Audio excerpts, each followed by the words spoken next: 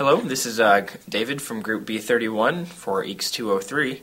Um, today we'll be discussing the telescoping series. Um, we're going to be presenting first a derivation and then two examples to help solidify that. Um, so um, let's just begin straight away. So the telescoping series is a series of this form where you've got i equals 1 to n, the sum, of, uh, actually we're going to use j here. j equals 1, a of j minus a of j minus 1. Okay, so you get a sum in this formula, or format, and you want to figure out what it equals. Well, let's just write out term by term. So we have uh, first term, a of 1 minus a of 0. You see that by the j and j minus 1, plus a of 2 minus a of 1, plus, and that's going to continue.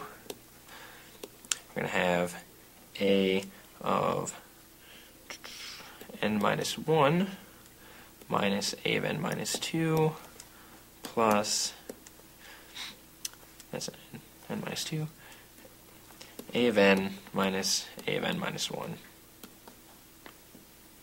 Did I just lose all the volume for some reason? No. No, I think it did. Not entirely sure why that happened. Okay, so we're back here. Um, so this, um, get all these terms from uh, 1 to n but you can see that several of them are going to cancel out. Um, not this term, but this term right here, the a of 1, cancels with this negative a of 1. So those cancel. Um, this a of 2 will actually cancel with a term in here, in the dot dot dot. Um, a of n minus 1 cancels with a of n minus 1. And this a of n minus 2 cancels in the dot dot dot again. And we're left with the two circled terms um, yielding a sub n minus a sub 0. So that's pretty much the derivation and the idea behind the telescoping sum, telescoping series. Um, and so next we'll, go on to show a few examples of that. Okay, this is the first example we're going to do today of a telescoping series. So we have the sum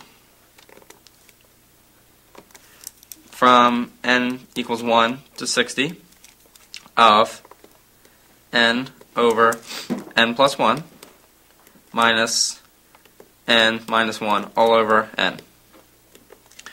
Now, we know this is telescoping sum because we, you'll see when we, write, when we write the sum, each successive term has um, alternating uh, signs which cancel out all but the first and uh, last term. So uh, we have we know the general form for the telescoping sum. Just to reiterate, is from j is equal to one to n. You have a of j minus a of j minus one. That's equal to the last term, a of n minus the a of zero, a sub zero. Okay, to see this, see how we do the sum, we're to write out uh, a few terms to get some intuition about how the series is actually behaves. So for n equals 1, we have um, it's 1 half minus 0, just plugging in n equals 1 to that equation. Then we have 2 thirds minus 2 thirds minus 1 half.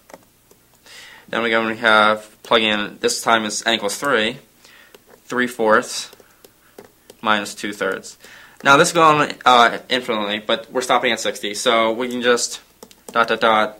And the last term um, is going to be 60 over 61 minus 59 over 60. And that's just found by plugging 60 into that equation. So if you look uh, closely, you'll see that every other term basically cancels out. So you have uh, 1 half is canceled out by negative 1 half. 2 thirds is canceled out by negative 2 thirds. And if I were to write more and more, you'll see 3 fourths cancel out. And all you end up left is what 60 over 61 and 0 because 59 over 60 is canceled out by um, when n equals 59. So we can calculate the final result using our equation for a telescoping series. So n equals 1 to 60, just of our equation.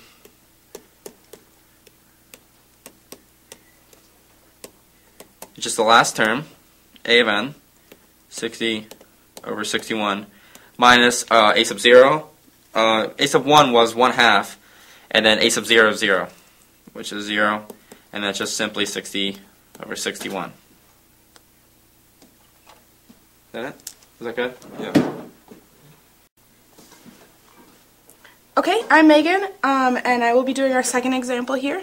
We are going to do the sum of 1 over 4n squared minus 1 from n equals 1, and this one will be going to infinity. So, to begin, we're going to start by breaking it up into 1 over 2n plus 1, and that is going to be multiplied by 2n minus 1. And in order to solve this, we have to do partial fractions, which I'm going to assume that you guys know how to do. So I'll go through the steps and I won't really explain that part. Um, but so we have a over 2n plus 1, and that's added to b over 2n minus 1. And for partial fractions, we're going to multiply that by 2n plus 1 and 2n minus 1. So what we have here now is um, 1 equals a times 2n minus 1 plus b times 2n plus 1. So we're going to group the similar terms to get a or 1 equals to a n minus a plus 2b n plus b. And that still equals um, n times 2a plus 2b and then we have negative a plus b left over here. So um, now we're going to break that up even farther through partial fractions and we get uh, 2a plus 2b equals 0 and negative a plus b equals 1. And so um, for partial fractions we're going to say this equals um, b equals 1 plus a, so we can sub it into this one, and that would be 2a plus 2, 1 plus a equals 0. Okay, so now we're going to solve for a and b, and what we get here is, let's do it over here. Um, 2a plus 2 plus 2a again equals 0. So our a equals 1 half. And then you're going to plug this into your b term over here. And you get b equals 1 minus 1 half equals 1 half. So now, um, that we have our a and b terms. We're going to um, put those back into the equation. Okay, so now we are going to make our sum again with our a and b terms. So we have our sum equals 1 half, which is our b term, over 2n minus 1. And we have that subtracted by 1 half, which is, this here is our a term and then that would be over 2n plus 1. And to show you guys this is a telescoping series, we're going to go through a couple of the numbers and try and find the solution.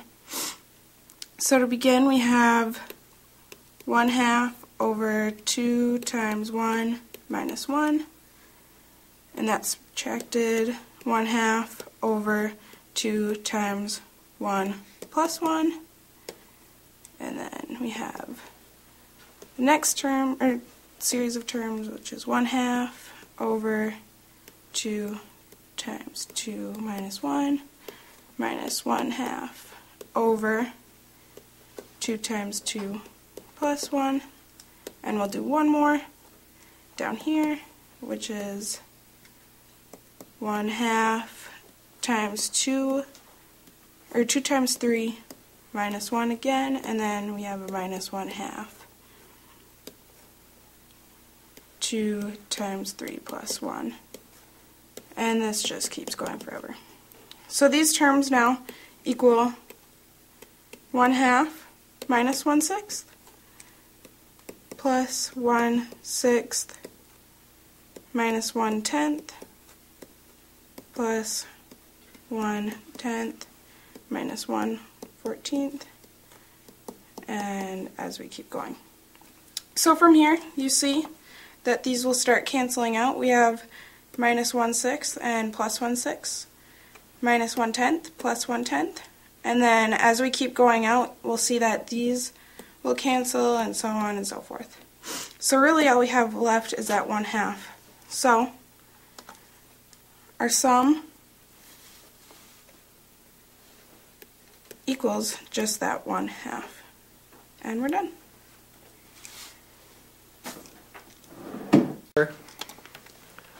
Okay, so to conclude what we just learned, we started off with the definition of what a telescoping series sum is. You can see right there, David went over that. And then we went over our first example with Nick, where we saw that the summation of from n equals 1 to 60 of the formula right there ends up being 60 over 61 minus 0, which if you can't tell is just that. And then our second example, which Maegan went over, was the summation from n equals 1 to infinity of 1 divided by 4n squared minus 1, which equals 1 minus 1 half, which is simply 1 half. And that's really all you need to know about telescoping sum.